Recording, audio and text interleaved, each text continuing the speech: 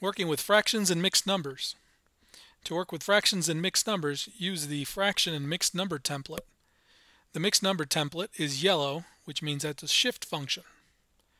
You can start the fraction, press the template, or you can open the template and fill it in.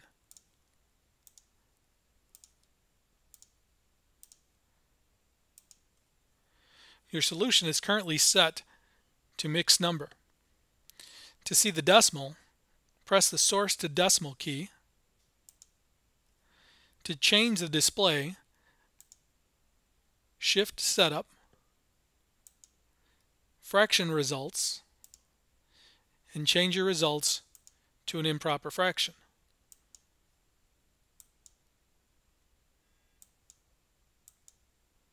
Now, it will default to an improper fraction. If you want to see the mixed number result, press the Shift source to decimal key.